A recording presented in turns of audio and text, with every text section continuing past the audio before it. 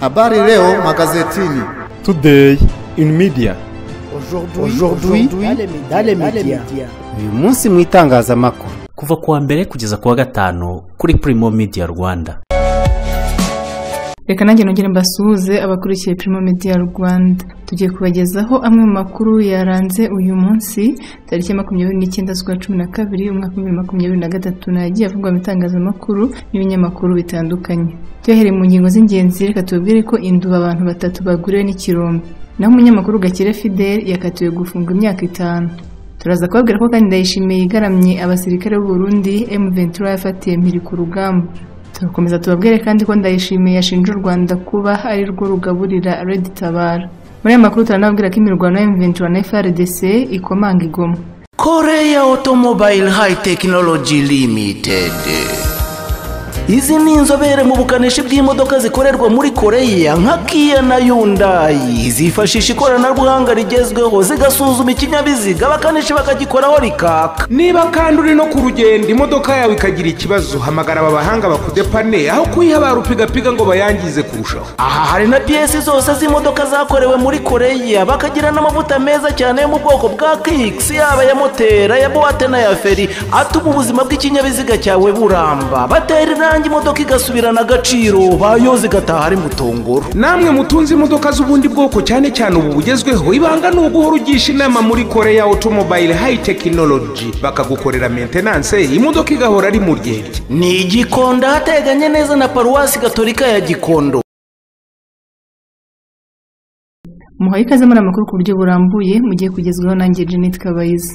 Amavomo mirongo itanu n'atandatu mu Rwanda aratanga amazi akoresheje interineti mu bice bimwe na bimwe by'umujyi wa Kigali no mu turere dutandukanye tw'intara y'Iburasirazuba abaturage batangiye gukoresha amavomo babona amazi bakoresheje ikarita kuri mubazi y'ikoranabuhanga ikoresha amashanyarazi n'ihuzanzira ya interineti umuturage ashobora kubonera amazi isaha yose abishakiye adategereje ko hari uwaza kumufungurira amazi. Icyo asabwa gusa ni ugukoza ikarita kuri mubazi igahita imurekurira litiro makumyabiri z'amazi yishyura igiceri cya makumyabiri cy'amafaranga y'u rwanda. Ubuyobozi bw'ikigo cy'igihugu gishinzwe gukwirakwiza amazi isuku n'isukura wasac buvuga ko uburyo bwatangiriye ku mavomo rusange mirongo itanu n'atandatu aherereye mu bice bitandukanye by'i kigali no mu turere twa kayonza rwamagana gatsibo na nyagatare. Bamwe mu baturage batuye mu mujyi wa kayonza bakoresha ayo mavomo rusange bavuga ko kuvoma bakoresheje ikoranabuhanga byabakureho inzitizi zirimo kuzinduka bakabura uvomesha n'umubyigano. Aba baturage bavuga ko iri koranabuhanga ritarabageraho bari bafite imbogamizi n'ibibazo byo kutabonera amazi meza igihe cyose bayashakiye bitewe n'uko ushinzwe kuvomesha adahari gusa. Gisubizo jean claude ukoresha ivomo rusange riri mu kagari ka nyagatovu mu murenge wa mukarange avuga ko iryo koranabuhanga ryabakijije inkomati ndetse n'amazi yarabahendukiye kuko ntayo bagipfusha ubusa. Yagize ati izi mubazi zitaraza byadusabaga gutegereza uvomesha ugasanga tubaye benshi bityo ugasanga habayeho kubyigana tuyarwanira. Ariko ubaho uburyo bw'ikoranabuhanga buziye iyo watinze mu kazi ugataha bugorobye ntutegereza ushinzwe kuvoma ngo agufungurire cyangwa mu gitondo uzindutse. Imirongo yaragabanutse ntabwo uza ngo utegereze kuko dufite amakarita dukoresha tuvoma batiriwe baza kukuvomera. Mahatane Theoneste nawe yagize ati njye hari igihe mva mu kazi saa yine z'ijoro nkaza kuvoma hano. Nk'ubu mvomye amajerekani atanu. Ubu hagiye igiceri cy'ijana. Uvomesha iyo yabaga adahari byadusabaga kumurindira ariko ubaho nshakira kugaruka ndaza ntikandagira nta kibazo. Mukiza anakire umukozi w'ishami rya wasake rya kayonza yavuze ko uburyo bwo gukoresha mubazi bumaze imyaka ibiri bukaba bukiri mu igerageza aho bwatangirijwe kandi bukomeje gutanga umusaruro. Yavuze ko kugira ngo buri vomo rikoresha ikoranabuhanga rigezweho ryubakwe ritwara ingengo y'imari ya miliyoni imwe y'amafaranga y'u rwanda kandi rikajyana n'ibindi bikorwa remezo birimo umuriro w'amashanyarazi n'ihuzanzira rya interineti mukiza yavuze ko mu gihe guverinoma y'u rwanda yihaye intego yo kwegereza amazi meza abaturage bose hari na gahunda yo kurushaho kwagura iryo koranabuhanga mu tundi turere. Mu gihe cy'imyaka ibiri umushinga wo gukoresha ikoranabuhanga rya mubazi ku mavomo rusange umaze ugeragezwa mu karere ka kayonza umaze kugezwa ku mavomo umunani. Mubazi ikoreshwa na wasac ni ikoranabuhanga ryatumye gahunda yo kuvoma amasaha makumyabiri n'ane kuri makumyabiri n'ane ishoboka. Abaturage bavuga ko imbogamizi ikiri aho ayo mavomo yashyizwe ariyo kuba amakarita yifashishwa afitwe n'abantu bakeya dore ko ikarita nta kiguzi isaba uretse ko ufite irangamuntu na telefone. Udafite ikarita ategereza uyifite akamukorezaho nawe akabona kuvoma. Twerekeje induba aho abantu batatu bagwiriwe n'ikirombe. Mu murenge wa nduba mu karere ka gasabo abantu batatu bagwiriwe n'ikirombe babiri bahise bitaba imana umwe akaba agishakishwa. Amakuru avuga ko kuri uyu wa kane tariki makumyabiri n'umunani ukuza uyu mwaka ahagana saa sita ni bwo mu birombe bisanzwe bicukurwamo amabuye yo kubakisha ari bwo byamenyekanye ko ibi birombe byagwiriye aba bagabo babiri b'abavandimwe ndetse na nyirabyo. Umugore wa nyakwigendera mugenda kenshi yabwiye umunyamakuru wa radio tv one ati umugabo wanjye yabyutse ambwira ngo reka ndabona nta kintu dufite reka njye guhiga icyo tuza kurya. Umutima wanze nohereza abana kuvoma babiri ndababwira ngo nimuzamuka muca hose ari mwumve icyo ababwira dushyire inkono ku ziko dore saa sita zirageze. Akomeza agira ati imvura yahise igwa ari nyinshi ndi mu rugo njyenyine umutima wo kuguma mu nzu birananira. Ndavuga ngo reka njye kureba abana cyangwa umugabo mbwira uwanjye ngo ndabona azanye kawunga reka tube tugiye guteka. Abwira abana ngo mujyane na nyoko ndabaha uyu mugabo ampaye na bitanu. Iminsi mukorera ni myinshi ntanyuma na bitatu. Abaturage bavuga ko mu bihe bitandukanye bagiye bagaragaza ko ibi birombe byateza ibyago kuko bituriye abaturage ariko nta kintu ubuyobozi bwabikozeho. Umuseke wagerageje kuvugisha umunyamabanga nshingwabikorwa w'umurenge wa nduba nibagwire jeanne abasaba kumwandikira ubutumwa babwanditse ntiyabaha amakuru. Ibikorwa byo gushakisha uwari ukiri mu birombe byari bigikomeje.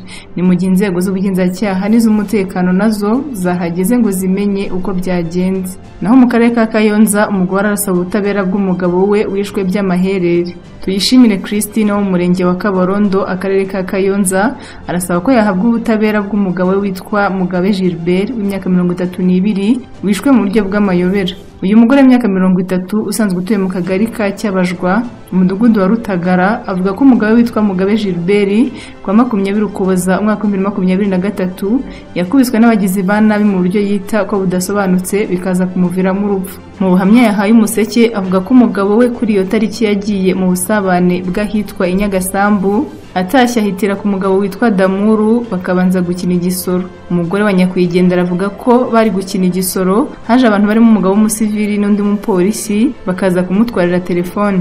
Tuyishimire christine yagize ati umugabo witwa damuru abura telefone umugabo wanjye aramutiza ngo akire uhamagare umenye telefone yawe ahantu iherereye. Barahamagara baramubwira ngo mudusange ku matente kwa maburi tubahe telefone yanyu.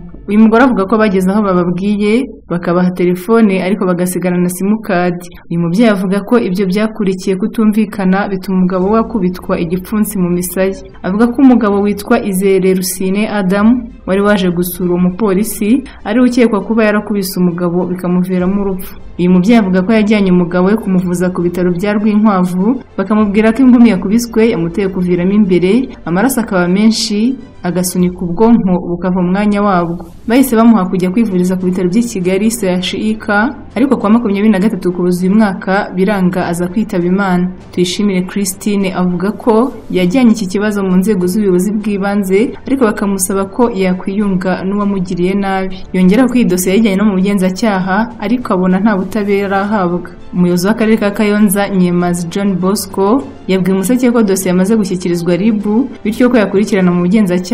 Asubiza ko ubuyobozi bw'ibanze bwaramusabye kwiyunga n'ukekwa kwica umugabo we yagize ati ibyo ntabwo ari byo kuko icyaha kirakurikiranwa. Ntabwo habaho kwiyunga ku cyaha cyakozwe. Icyo numva gikwiye ni ukubaza ubugenzacyaha izo dosiye ziba zarakurikiranwe rib ivuga ko dosiye ye aregamo izere rusine adamu yakozwe ikaba yaramaze gushyikirizwa ubushinjacyaha. Muri nyarugenge urukiko rwakatiye abaregwa muri dosiye ya rumanzi wahunze igihugu. Urukiko rwisumbuye rwa nyarugenge rwahamije kandi rukatira abantu batatu barimo uwahoze ari umutoza w'umupira w'amaguru umucamanza n'undi muntu ku giti cye. Muri dosiye y'umutoza w'umupira w'amaguru david rumanzi wahunze igihugu. Abantu bahamwe n'icyaha ni rumanzi wahoze atoza ikipe y'amavubi y'abatarengeje imyaka cumi n'itatu batorezwa muri akademi ya paris saint germain hari eric twambajimana umucamanza w'urukiko rwisumbuye rwa nyarugenge na emmanuel mwenedata. Rumanzi na twambajimana bahamwe n'icyaha cyo guhimba inyandiko kandi bakatiwe imyaka ibiri n'amezi atandatu no guhagarikwa umwaka n'igice. Ibi bivuze ko bazamara umwaka umwe muri gereza ku rundi ruhande mwene data yakatiwe amezi atatu kubera ko yamenyesheje iki cyaha gikomeye. Mu iburanisha ryose rumanzi ntiyari ahari mu gihe twambaje imana na mwene data bafunzwe kuva tariki ya cumi werurwe nk'uko tubikesha the new times. Mu kwezi kwa gatatu twambaje imana yatawe muri yombi azira guha impapuro mpimbano z'urwego rw'igihugu rw'ubugenzacyaha rib zigaragaza ko rumanzi wasabye ubuhungiro mu burayi. Nyuma yo guhunga igihugu mu kwezi kwa gatanu umwaka w'ibihumbi makumyabiri na kabiri yashakishwaga na rib. Rumanzi n'abandi batoza bari baherekeje ikipe y'amaguru y'abatarengeje imyaka cumi n'itatu ya paris saint germain academy mu gikombe cy'isi cya psg academy mu bufaransa. Icyakora ku itariki ya makumyabiri na gatanu z'ukwezi kwa gatanu ubwo itsinda ryasubiraga mu rugo rumanzi yahisemo kuguma mu bufaransa asaba ubuhungiro. Raporo zerekana ko yahuye n'ibibazo byo kubona ibyangombwa by'ubuhunzi biba ngombwa ko asaba ubufasha inshuti ye twambaje imana twambaje imana nawe yakoresheje umwanya we acura impapuro za rib zo guhamagaza rumanzi kugira ngo azifashishe mu gusaba ubuhungiro mu gihugu cy'uburayi ku bw'ibyago izo nyandiko zafatiwe ku kibuga cy'indege mpuzamahanga cya kigali mbere yo kugera kuri rumanzi. Aya makuru twerekeje i nyamasheke aho umugabo yasanzwe mu kiziriko yapfuye. Nsengimana Gratien y'imyaka mirongo itanu n'ibiri wo mu karere ka Nyamasheke wavuye iwe amaze kumena ikirahuri cy'inzu yasanzwe mu murima amanitse mu kiziriko cy'inka. Nsengimana wari utuye mu mudugudu wa Kazibira akagari ka Gako mu murenge wa Kagano yashizemo umwuka kuri wa makumyabiri n'umunani ukuza uyu mwaka. Umukobwa wa nyakwigendera uri mu kigero cy'imyaka makumyabiri n'irindwi yavuze ko yakuze abona se na nyina ruhora rugeretse. Avuga ko ku mugoroba wo ku wa gatatu ari bwo se yageze mu rugo yanyoye inzoga ashakisha impamvu zo gukubita umugore we ariko bamwima ururimi uyu mugabo ngo yabonye mu muryango we badakakaza ubwo yageragezaga kwanduranya niko gufata icyuma yari yacuze amenagura ikirahuri cy'inzu afumyamo ariruka bayoberwa aho arengeye umukuru w'umudugudu n'ushinzwe umutekano bafatanije n'umuryango n'abaturanyi kumushakisha basanze yarandaguye ibiti bya kawa mu murima we. Mu kwegera imbere baje kubona Nsengimana mu murima w'umuturanyi aho yari yimanitse mu giti cya gereveriya akoresheje ikiziriko cy'inka. Umuyobozi w'akarere ka nyamasheke mupenzi narcisse yatangaje ko bamenye amakuru y'urwo rupfu ndetse ko urwego rubishinzwe rwajyanye umurambo wa nyakwigendera kuwupima kugira ngo hamenyekane icyateye urwo rupfu. Umurambo wa Nsengimana wese ujyanwa ku bitaro bya kibogora gukoreshwa isuzuma mbere y'uko ashyingurwa. Mu yandi makuru mu mashuri hakomeje kugaragara ikibazo cy'ubucucike. Raporo y'umugenzuzi w'imari ya leta mu mwaka w'ibihumbi bibiri makumyabiri na kabiri yagaragaje ko amashuri mu rwanda akibonekamo ubucucike bw'abanyeshuri ku kigero cy'abana mirongo irindwi na barindwi mu ishuri rimwe. Ni ikigero kiri hejuru hagendewe kuri gahunda ya leta aho biteganywa ko nibura icyumba kimwe cyabamo abana mirongo ine na batandatu. Gahunda ya nst 1 igaragaza ko ishyize imbere kongera umubare w'abana bagana amashuri y'incuke bakava kuri cumi barindwi n'ibice bitanu ku ijana kuva mu mwaka w'ibihumbi bibiri na cumi na gatandatu kugera kuri mirongo ine na batanu ku ijana mu mwaka w'ibihumbi bibiri na makumyabiri na kane. Ibi bikaba byaragombaga kugerwaho hashyizweho amashuri y'incuke mu midugudu yose ku bufatanye bw'abaturage n'abikorera. Muri iyi gahunda hateganywaga guteza imbere uburezi mu mashuri hatezwa imbere indimi n'imibare bigafasha abana kuzamuka neza mu mashuri abanza n'ayisumbuye. Ingingo ya mirongo itandatu na kabiri ya nst 1 igaragaza ko hagomba kongerwa ibikorwa remezo harimo kongera ibyumba by'amashuri n'ibikoresho bikenerwa nk'aho gukorera ubushakashatsi laboratwari nst 1 iteganya ko mu burezi hagombaga kubakwa ibyumba by'amashuri binyuze mu bikorwa by'umuganda no kongera umubare w'abarezi babishoboye. Mu mwaka wa bibiri na makumyabiri mu rwanda hatangiye kubakwa ibyumba by'amashuri ibihumbi makumyabiri na bibiri magana atanu mu kugabanya ubucucike ndetse uturere dufite amashuri make twagiye tugenerwa ibyumba byinshi aho nka nyagatare hubatswemo ibyumba igihumbi magana abiri mirongo ine gasaba ibyumba igihumbi mirongo irindwi na bine naho akarere ka rubavu hubakwa ibyumba igihumbi magana abiri na kimwe mu gihe mu karere ka gatsibo hubatswe ibyumba igihumbi n'ijana na mirongo icyenda na bitatu. Muri kamena umwaka w'ibihumbi bibiri na makumyabiri wari minisitiri w'uburezi dr. Valentine uwamariya yavuze ko bizagabanya ubucucike mu mashuri kuko wasangaga mu ishuri harimo abana mirongo inani hari n'aho bagera mu ijana ariko hamaze kubakwa ibyumba bishya ubucucike bwagombaga kugabanuka kugera munsi y'abana mirongo itandatu mu cyumba. Akarere ka rubavu nk'akubatswemo ibyumba birenze igihumbi magana abiri ubucucike bukomeje kuzamuka kuko hari abana biga barenze ijana. Ndetse umuyobozi w'akarere wungirije ushinzwe imibereho myiza y'abaturage ishimwe pacifique yabwiye inama njyanama ko iki kibazo gituma hari ibyumba by'amashuri bishyirwamo abarimu babiri.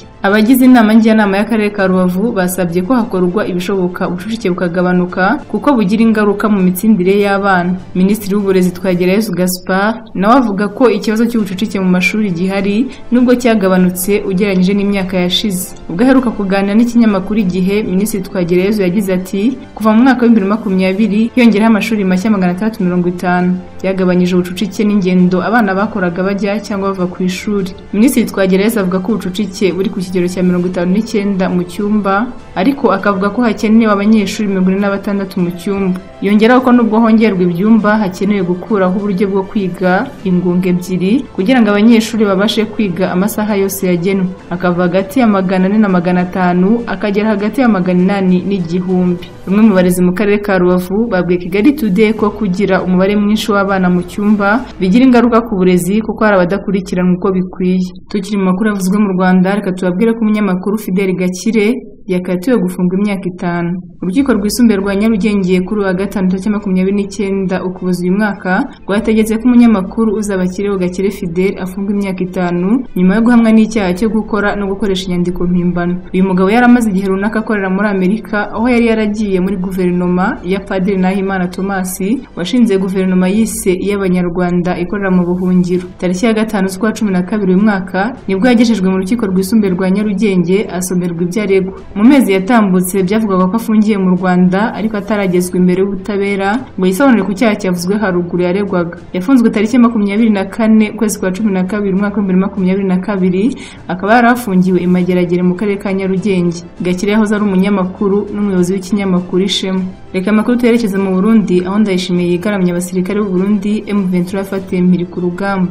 Perezida Evariste Ndayishimiye yihakanye abasirikare umutwe mu Ventura werekanye nyuma yo kubafatira mpiri ku rugamba avuga ko atari ab'u Burundi. Mu mezi abiri ashize ni bwo mu Ventura yerekanye abasirikare yemeje ko ari ab'u Burundi bari baragiye guha umusada ingabo za Repubulika ya Demokarasi ya Kongo ni abasirikare uyu mutwe wafatiye mu gace ka Kicanga muri teritwari ya Masisi ndetse aberekanwe bose bemeje ko ari mu gisirikare cy'u Burundi. Perezida Evariste Ndayishimiye mu kiganiro yagiranye n'itangazamakuru kuri wa gatanu yavuze ko abo M23 yerekanye ari abarwanyi mu mutwe wa Red Tabara usanzwe urwanya ubutegetsi bw'igihugu cye. Yavuze agira ati abasirikare inyeshyamba za M23 zeretse itangazamakuru zivuga ko ari Burundi bafashwe mpiri n'inyeshyamba za Red Tabara zinyuze kuri M23 Ndayishimiye yavuze ko iyi mitwe yombi yahisemo amayeri y'umukino wo kwicana mu mutwe mu rwego rwo guca intege ingabo z'u Burundi. Ni Ndayishimiye cyakora wemeye ko hari abasirikare b'u Burundi boherejwe muri Repubulika ya Demokarasi ya Kongo mu rwego rwo guha umusada ingabo z'iki gihugu. Turacyari mu Burundi kandi aho Ndayishimiye yashinje u Rwanda kuba ari rwo rugaburira Red Tabara. Perezida Evariste Ndayishimiye w'u Burundi yashinje u Rwanda kuba ari rwo rwaba ruha ubufasha burimo bw'imyitozo umutwe wa Red Tabara urwanya ubutegetsi bwe. Ndayishimiye yabitangaje kuri wa gatanu mu kiganiro yagiranye n'ibitangazamakuru by'i Burundi cyabereye mu ntara ya Cankuzo. Ni ikiganiro yakoze nyuma y'icyumweru kimwe umutwe wa Red Tabara ugabye igitero ahitwa mu Gatumba hafi y'umupaka w'u Burundi na Kongo ukica abantu makumyabiri. Perezida Ndayishimiye yavuze ko u Rwanda ari rwo rusanzwe ruha ubufasha uyu mutwe. Yagize ati hashize igihe kirekire iyo mitwe ihabwa amacumbi ihabwa ibyo kurya ihabwa ibikoreramo ihabwa amafaranga n'igihugu ibamo aho mu Rwanda. Perezida w'u Burundi kandi yavuze ko igihugu cye kimaze igihe gisaba u Rwanda kuba rwagiha abagize iriya mitwe rucumbikiye ngo bashyikirizwe ubutabera gusa bikaba byarananiranye. Umutwe wa Red Tabara umaze igihe usaba leta y'u Burundi ko bagirana ibiganiro bigamije gukemura amakimbirane y'impande zombi. Ndayishimiye yavuze ko ibyo biganiro bidashoboka kuko iyo uza kuba ibikeneye yaba ari we ijya gushaka cyangwa igashaka minisitiri aho kwica abaturage.